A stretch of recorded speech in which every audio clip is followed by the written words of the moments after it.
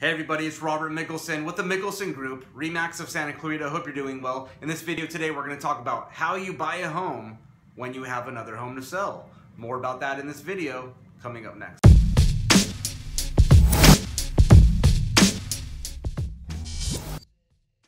Okay everyone, it's Robert Mickalson, Mickalson Group, Remax. In this video, we're going to talk about how you go about buying a home when you have a home to sell. You need that equity out of that house because you need to buy the new home with that larger down payment, but the money's coming from your house. So how do we get that done? There's basically two ways to make that happen. The two ways to make that happen, to buy a house when we're selling one, is you're either going to sell your house non-contingent, meaning when you secure the buyer, for your home that you're selling, you're going to sell it non-contingent, meaning you don't have a home to buy. You might possibly move somewhere temporarily at the end of the close of escrow when you're selling your home that you're relinquishing.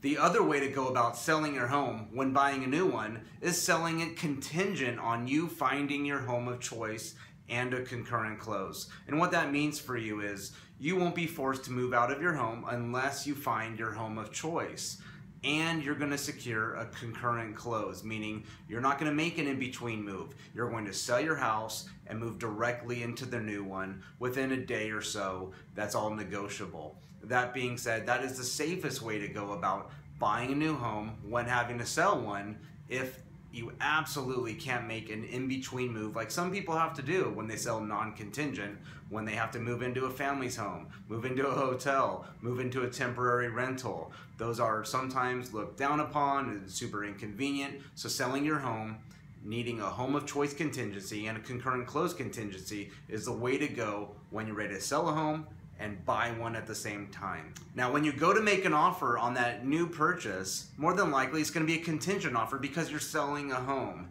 And if it's not, that's because perhaps you sold your home non-contingent and you moved somewhere temporary and now you're making a non-contingent offer in that case. But more than likely, you're gonna be making a contingent offer on your home that's selling in order for you to buy this new one.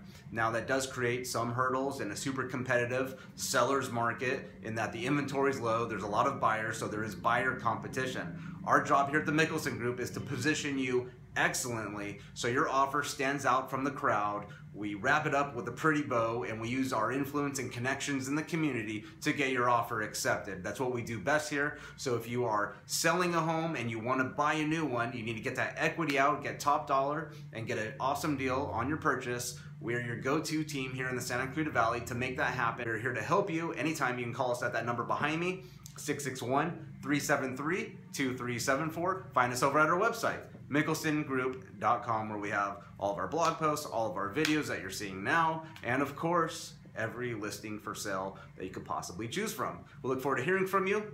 Until then, take care.